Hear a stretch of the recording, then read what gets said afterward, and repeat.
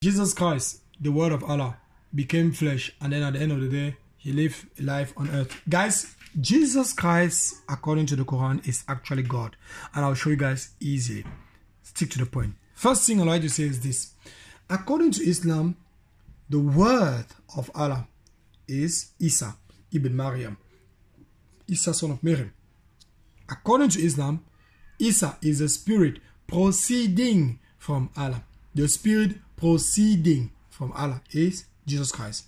We all know that the spirit of Allah, spirit proceeding from Allah, and it was written proceeding with ing at the end of the day it means it is always in the continuous turn. It means right from eternity past to eternity future it's always proceeding. It means he has the same age as allah it is uncreated.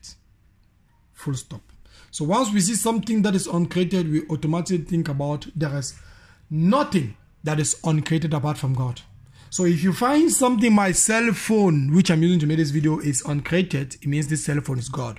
So if you find anything which is uncreated, anything that is uncreated is God. So uncreated simply means eternal, simply means God. So we have three things that are in the Quran that are eternal. The word of God, the spirit proceeding from God, and Allah himself.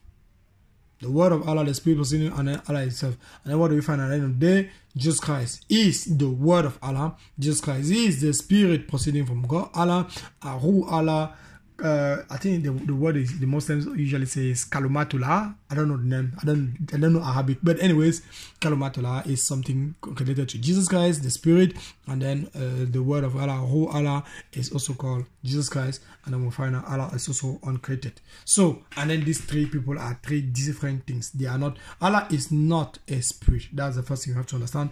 Allah is not the Quran. Allah is not the word of. Allah. Allah is not. So Allah is different from the spirit is not Allah and Allah is not a spirit and then uh, the word of Allah is different. So what do we find in the Bible? In the Bible we have the Father, the Son, and the Holy Spirit. The Son is not the Father. The Son is not the Father. The Father is not the Son. The Father is not. Anyways, there are three physical, distinct people, and then all these three people. The Father. There's, more many, many verses that are saying that the Father, there's, there's, the Father, the Father is in the Son, and the Son is in the Father and then the Holy Spirit is inside the Father. And then we have all these three people are one. That's what the Bible says. We have one God. There is one God and one mediator between God and man. There is one God all over the all over the Bible. And then there's one being, one being, and inside of one being we have three different people. So that's what the Bible says. There are differences between these three people only in terms of functions. That is the main differences between the Father has different function. The Bible says in John that all what the Father, I repeat, everything, all what the Father does, all what the Father does, the Son does it. And everything that the Son does, the Father can do also.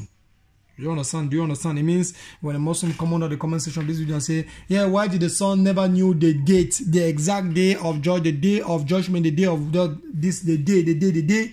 And I'll simply tell him that he did not say in that same verse the exact words and the things that are going to happen until that day is going to happen? So it means this is the day.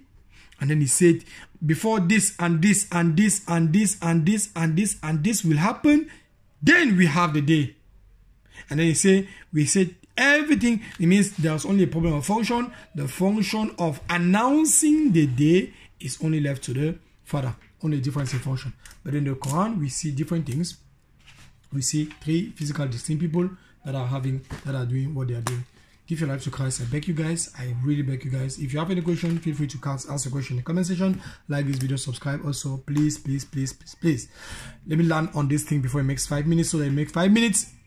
This, according to John chapter 1, verse 1, we have in the beginning was the Word, and the Word was with God, and the Word was God.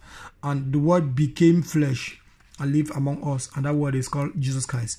The Word of God was with God, and the Word of God was God. And that Word of God, which was God in the beginning, became a human being. And so, God, according to the Bible, God decided to enter his creation to enter his creation and to do one thing and to and to give his life so that we can have full reconciliation back with him. So if you believe in Jesus Christ, you have eternal life. If you don't believe, you don't have eternal life because your sins are still cleaning on you and you will die with your sins. You will die in your sins because justice has to be made. You have to pay the price. You just just you don't just say mercy. God is merciful. Forgive me, and He will forgive you. He has to also say He is merciful. Yes, I forgive you. But what about your sins? You have to pay for the fine, and the fine is eternity in hell. Repent and give your life to Christ.